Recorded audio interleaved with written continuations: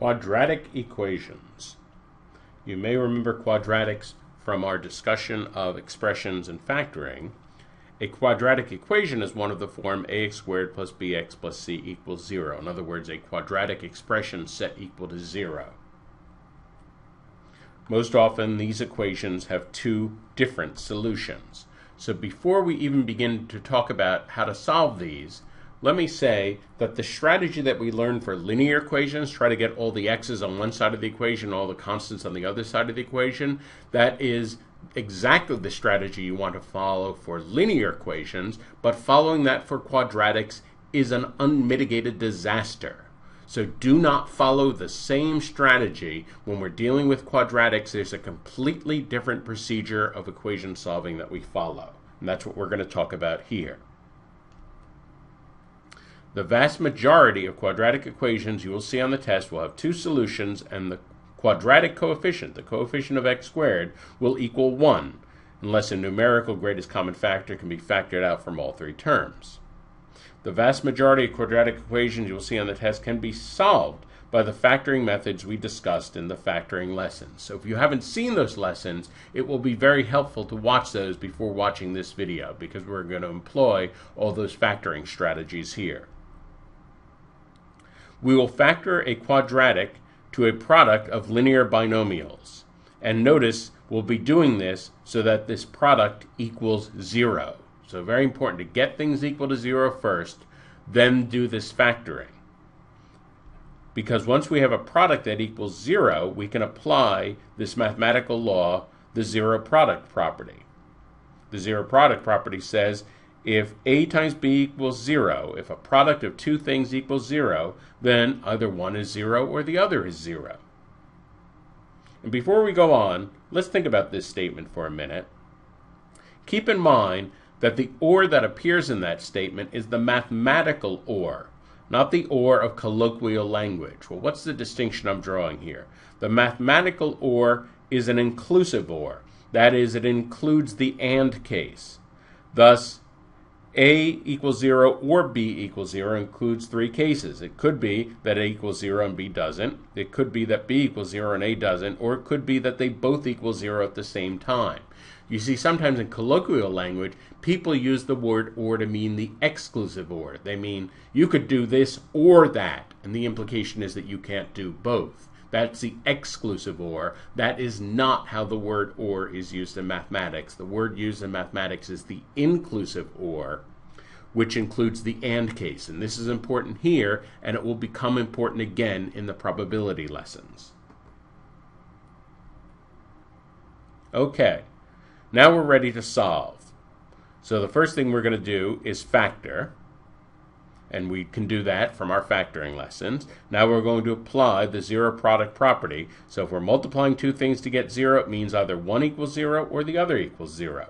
Now we have two mini equations. We solve them in parallel, and we get that x equals negative 12 or x equals 2. And those are the two solutions to that original equation. Here's another example. Now before we can apply the zero product property, we have to have something that equals 0. So our first step is going to be to get the quadratic equal to 0. And we're going to do this by subtracting 11 from both sides.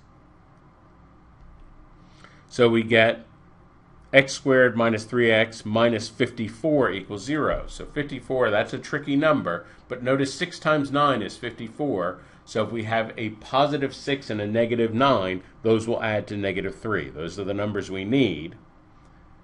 Then we apply the zero product property, set each one of those equal to zero, and solve. Again, notice that I'm being very careful to write the word or at each step. Again, the word or is not decoration. The word or is a valid piece of mathematical equipment here.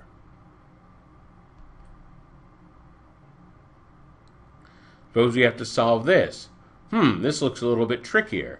Well, we'll start by subtracting 13 from both sides. And now notice we have a greatest common factor of 5.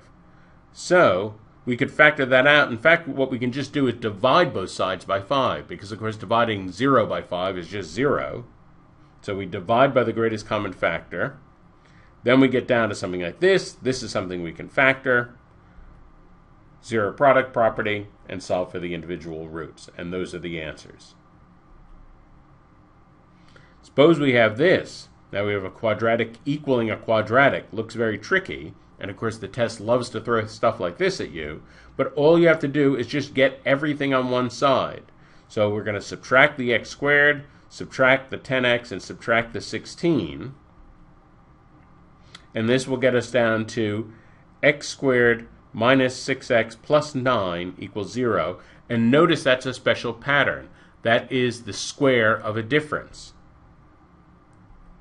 So we can write that immediately as x minus 3 times x minus 3. It means that our only possibility for getting 0 is if x minus 3 equals 0, or in other words, if x equals 3. So this is an example of a quadratic that has one solution instead of two.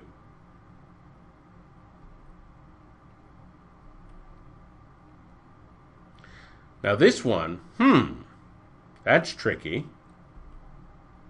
If we move the 5 to the other side of the equation, we see a problem. There's no way that we can square something and get a negative number. We can square, we square positive, we get a positive number. We square 0, we get 0. We square negative, we get a positive. But there's nothing we can square to get a negative. This is impossible.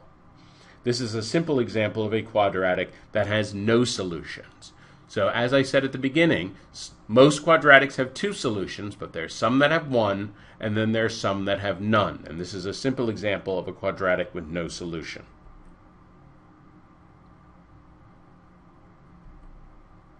For the vast majority of quadratics on the test, you will follow this procedure. First of all, you will get everything on one side of the equation set equal to zero. Then you will divide off any greatest common factor, you will factor it into a product of linear binomials and then use the zero product property to create two linear equations and solve each one of them separately. So this is the procedure. Here are some practice problems. Pause the video and solve these on your own and then we'll talk about these. And these are the solutions. That covers most of what you need to know about quadratics for the test. On very advanced portions of the, quadra- of the quantitative section, you may need to know and use the quadratic formula. We will cover that in a lesson in the powers and roots module.